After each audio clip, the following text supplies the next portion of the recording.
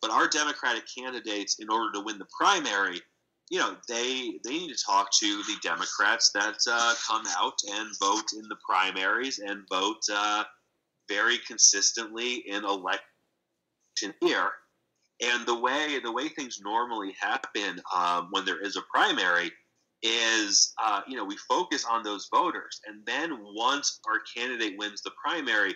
then they start talking to, you know, the general election universe. And you know, normally we uh, we don't start talking to these folks for, for a couple months. So um, the folks we're talking to are the prime uh, blank voters or the unaffiliated voters, and these are the voters voters that are registered to vote, but uh, are not registered to any political party.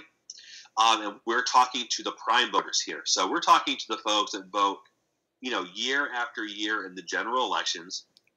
and then we are also talking to uh, the lower turnout Democrats.